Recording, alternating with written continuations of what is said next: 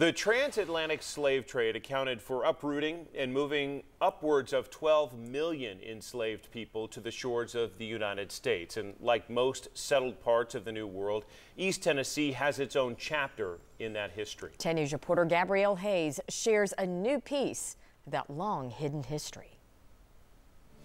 The institution of slavery stole the history, culture, and lives of millions of people for centuries.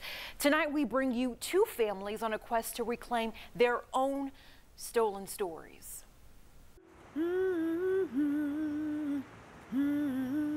Um, Isaac Dockery was um, a brickmaker.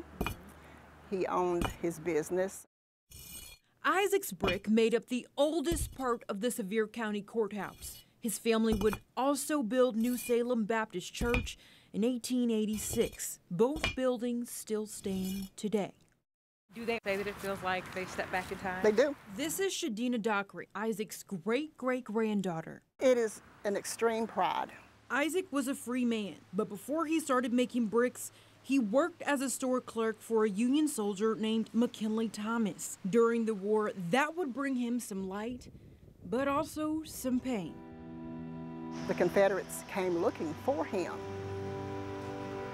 They asked Isaac where he was. Isaac would not tell where he was. So they put a rope around his neck and they drug Isaac Dockery through the streets of Sevierville, trying to get him to reveal where McKinley Thomas was. And he never did. And from what I understand, he bore those scars for the rest of his life, where he was actually drugged through the city. However, through Thomas, Isaac would meet his wife. Her name was Charlotte. They were slaves of the Thomas family, yes. She's talking about Charlotte and her mom Mary. And from Isaac and Charlotte, the Dockery legacy would begin.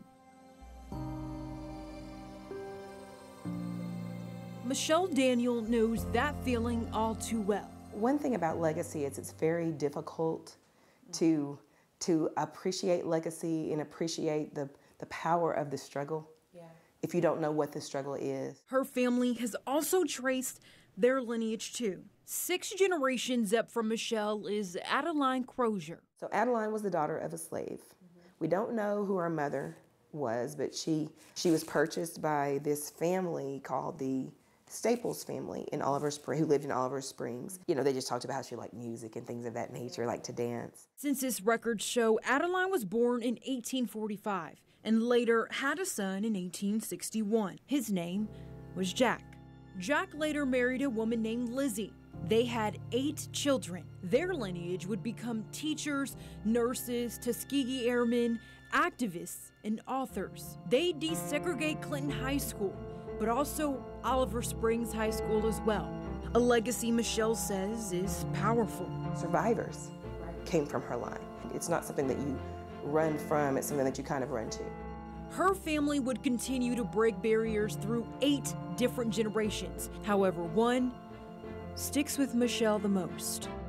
They had a full functioning farm in the very place where their family you know, not even probably 100 years before, was enslaved. was enslaved, where the cattle were more valuable than the people, than their children. Putting the pieces together to rewrite a story stolen for generations all over the world. And while it gets emotional along the way, both families say this isn't the end of their lineage, and it's only the beginning of their stories. Sometimes you wish folks understood just how difficult it is but then you think, no, no, I don't want to think about the difficulty. I just want to think about I finally found you. you can run, but you cannot hide. I finally found you. Even though we, as we acknowledge what what slavery did to a people, it didn't break them, and it doesn't break us. We need people to know that we were here, and we contributed to the community. So and you're still here. And we're st- uh, yeah, we're not going anywhere. Just if there's family out there that sees this story and we haven't found you, find us. We we have our arms open and we'll leave the light on. So uh, we're we're looking for family all the time.